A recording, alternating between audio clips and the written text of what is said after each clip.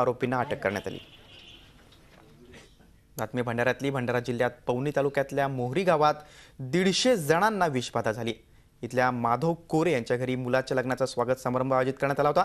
त्यावेळी जेवणानंतर पाहुण्यांना उलटीचा त्रास होऊ लागला. या सर्व नागरिकांना उपचारासाठी आसगाव प्राथमिक आरोग्य केंद्रात दाखल करण्यात आले तर काही जणांना पाहुणे इथल्या प्राथमिक आरोग्य केंद्रात त्यांच्यावर उपचार करण्यात आले. जेवणात विषबाधा झाली असल्याचा अंदाज व्यक्त करण्यात येतोय. झी चोवीस तास. रहा एक पाऊल पुढे.